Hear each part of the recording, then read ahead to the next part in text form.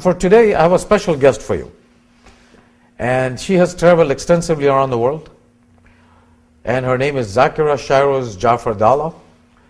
And Roshan Fatima Jafar is going to be interviewing her.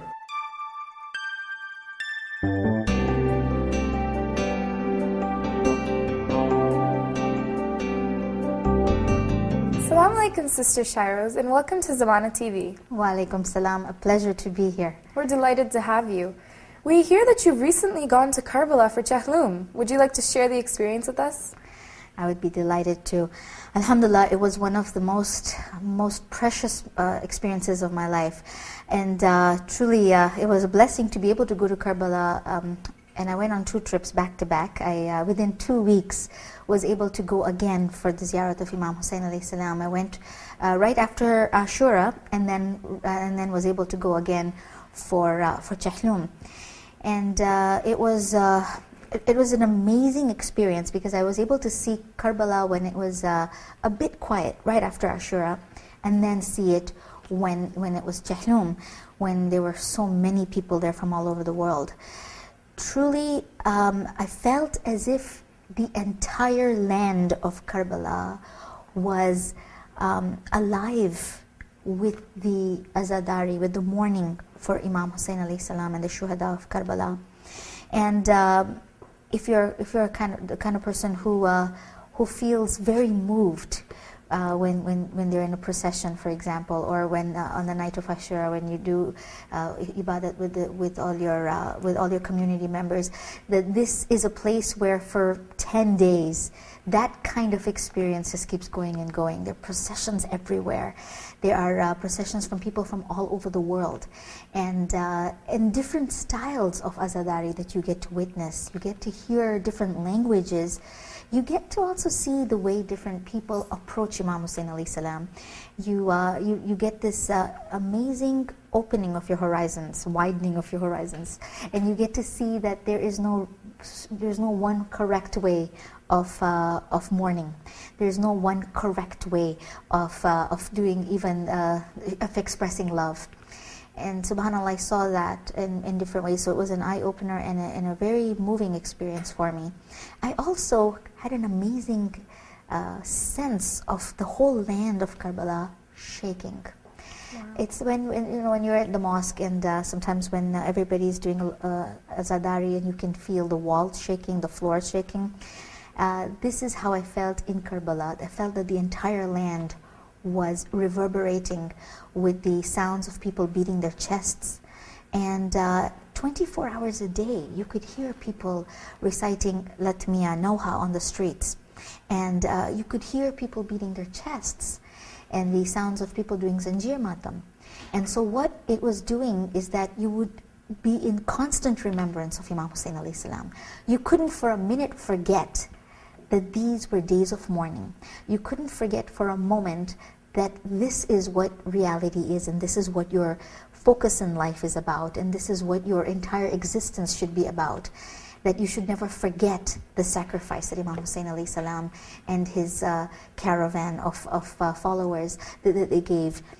I, um, I would totally recommend that, uh, that if, you, if you make this visit, you do it in Chahlum for there is nothing like this experience to see the entire world. It feels like the entire world is beside you, and uh, and to feel one of many is is an is an amazing experience. It's priceless.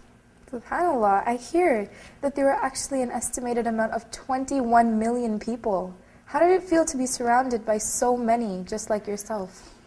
Yes, I I, uh, I, I, write a, a, blog on, on Facebook, and uh, you can find me on, on Facebook. When I've written about this, when I had uh, one status where I, I, talked about status update, when I talked about the ecstasy of being lost in the crowd in Karbala. Yes, there were a lot of people there. Some estimates said 15 million, but then they, they said it was 21 million. And uh, at first, I was apprehensive about about being there at a time when there would be so many people there, and I was worried about uh, getting smothered or squashed, and, and was worried about stampedes. But subhanallah, I saw people who had brought very small babies. People had brought newborns people had brought entire families. There were seniors with- on wheelchairs. There were people there from every walks of life. There were people who were disabled, and uh, and, and yet everyone was safe. And you know, it was as if uh, a small place like Karbala had expanded to take in all the lovers of Imam Hussein and, and taken it, us all into, uh, into its arms. I felt the love there. And uh, being lost in a crowd of so many was actually a fantastic experience. For I felt that I'm not alone in my love for Imam Hussein alayhi salam. There was a great validation there to see that so many people love him. And in fact, it was very humbling to realize that my love is is nothing compared to all the, the different ways that these people are showing their love. There were people who had walked all the way from Basra. Um, a lot of us did the walk from Najaf to Karbala. I walked a little bit because I had to be in Karbala to recite Majlis, so I had to be there earlier than the rest of the group. But uh, there were also people who not only walked, but people who crawled all the way from, from, from the outskirts of Iraq all the way to the shrine of Imam Hussein alayhi salam. Now that is love that you can uh, that you can only imagine that you that anyone could have, but people do. So it was an amazing experience, and I'll tell you uh, that those fears of being squashed were uh, they, it, they were not totally unfounded, but it's true that it was there was a lot of there were a lot of people there, but there was a great respect amongst the people there. Uh, there was, uh, you know, you didn't feel, you felt very safe, even with the men right there beside you. But you also felt that everyone was your brother and sister, and that there was great love, and that we were all there for one one purpose. And so, in that respect, uh, it, you didn't hate those th- that feeling of being pushed around. And uh, I, I um, I truly, I truly enjoyed every moment. It was so precious. You know, I hear that there's a big concern of security. How safe did you feel in the atmosphere?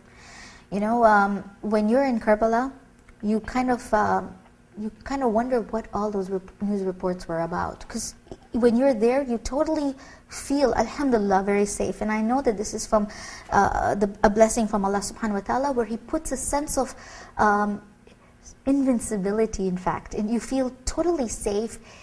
And because you're there for such a noble deed, so for such a noble task, that you feel uh, that even if, God forbid, something happened, that you would die in this blessed land. You know, there is no fishar qabr in Karbala.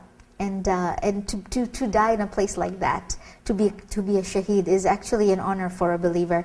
Um, and there were so many uh, military personnel there. There were tanks and there were uh, military tanks and there were a lot of policemen everywhere. And we went through multiple checkpoints. Uh, we, were, we went through metal detectors, we went through physical frisking, and our bags were looked into. So you, you knew that, alhamdulillah, all, all the efforts were being made to keep you safe. What merits do you think would be associated with such a trip? Oh, that's a great question because um, you know uh, we go there to pay our respects. We go there for uh, to show our love for Imam Hussein alayhi salam. And Iraq is uh, is not really a uh, travel destination for uh, for sightseeing, really.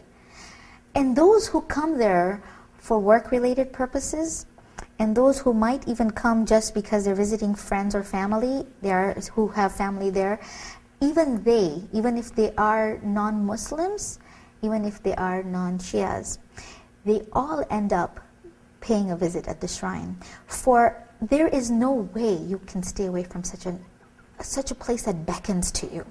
And you know, um, we, we visit the graves of our loved ones, don't we? And there are great uh, merits associated with visiting the one the, the, the marhumin.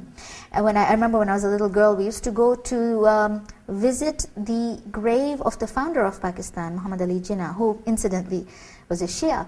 But we, we you know, people went there to pay their respects. And this is what it really is. That if you love the Ahlul Bayt you go there. But even if you don't, the fact that this was a great man, and these were great men who gave up their lives for Islam, uh, elevates them in the eyes of the world. These are, these are great men who, are, who serve as an example for all of us. But also as respect. You go to a pious person's grave. You go to the grave of a, of a well-known personality simply to, to, to be part of that experience. Being in Karbala, being in this blessed land, I'm telling you, is a, mir- is a miracle in itself. People often say, uh, Did you see any miracles? Did you pe- see people suddenly walking? And you know, unfortunately, we think of miracles as only that. But the the total miracle of being in Karbala, stepping on that blessed, pure land that Imam Hussein alayhi salam uh, shed his blood on, is, is an incredible experience. It's a miraculous feeling. There's an amazing feeling of peace.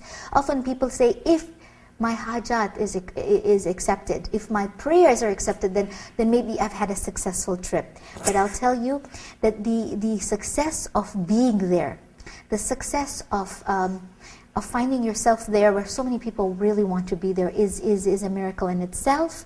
And the peace that you feel in your heart when you stand at those majestic doors is actually the answer to all your prayers. For we, we just need strength to make it through the day, don't we? We need strength to make it through our lives. And so, um, uh, just being there is, is a fulfillment of, of, uh, of many of our desires. I want to share with you, when you're asking me about the merits, uh, this beautiful hadith by uh, Imam Jafar Sadiq alayhi salam. And this is by, um, uh, this is in, in, in, one of the books that everyone should have with them, a guide to, uh, select, to ziyarat and selected supplications. And Maulana Dr. Liaquat Ali Takim has translated this book. And in it, the sixth Imam, Imam Jafar Sadiq salam, has been quoted as, as being reciting this, a dua for his Shias, those who visit the grave of uh, Imam Hussein alayhi salam. And uh, this is narrated by one of his companions who came in and found and saw Imam was on the prayer mat. And it's a long hadith and there's many du'as that Imam uh, recited there. And then he said, Oh Allah, forgive me, my brothers, and those who visit the grave of my father, Al-Hussein and those who spend their wealth and toil their bodies desiring our goodness. And then he says that they've come to make this connection with us. So bless them, O Allah. And he says that they've answered our call. They've made our enemies angry by coming here. And they've done this for your pleasure. So reward them with your pleasure. Protect them. And he says, leave for them their, their, and their families the best of successors. Remove evils from them. Look at the du'as that we're getting here. And he says, grant them the best that they wish from you.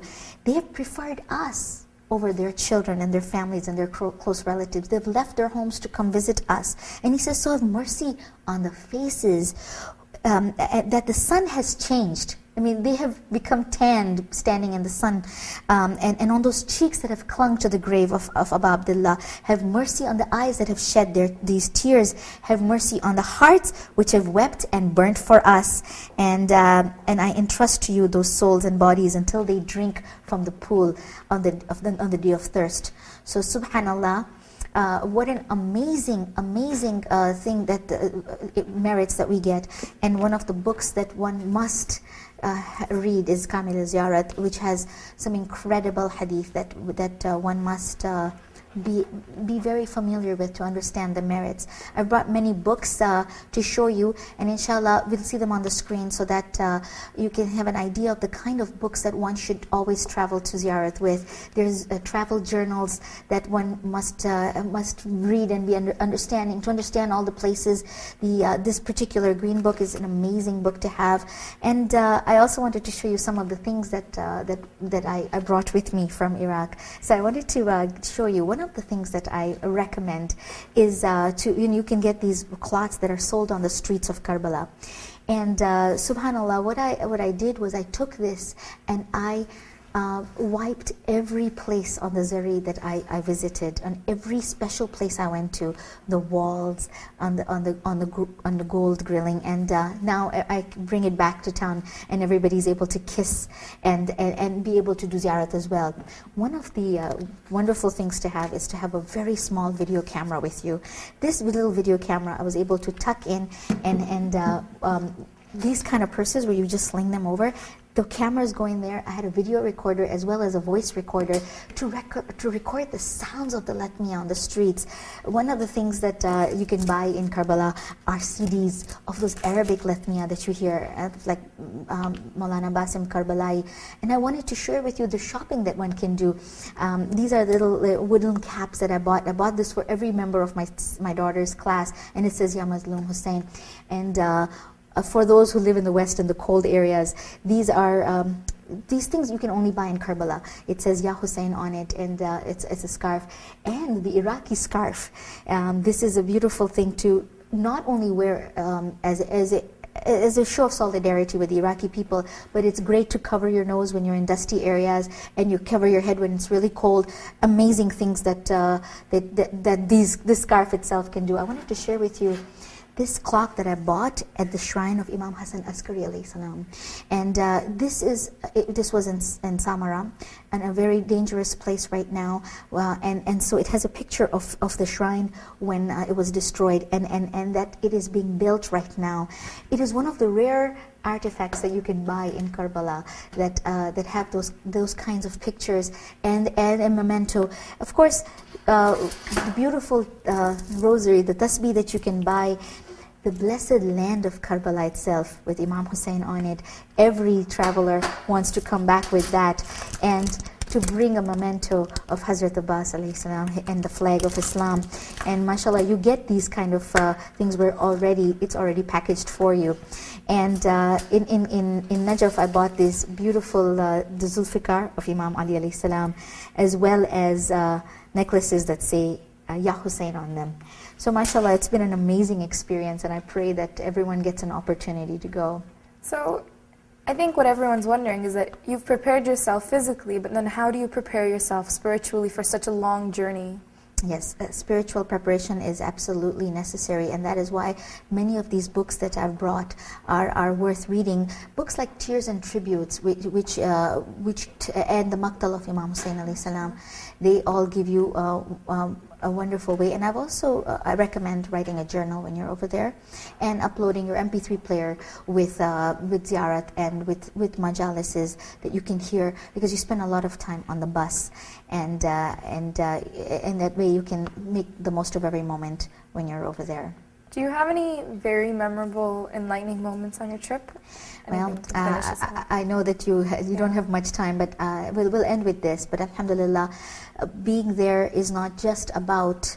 Uh, I realized that was my enlightening moment that it was not just about going to the shrine of Imam Hussein alayhi salam. It was not just doing the ziyarat and asking for my hajat and taking the du'as of the many people who had told me to pray for them, but it was also about realizing that you cannot show love for Imam Hussein alayhi salam without showing a love for all the people who love Imam Hussein alayhi salam as well. Living uh, in close proximity with other um, with other travelers and other Zaireen was an eye opener, and I realized that one has to tolerate, one has to share, one has to respect, and one has to hold hands with all those who love Imam Hussein alayhi salam. For a community that is united is, uh, is looked upon with love by Allah subhanahu wa ta'ala.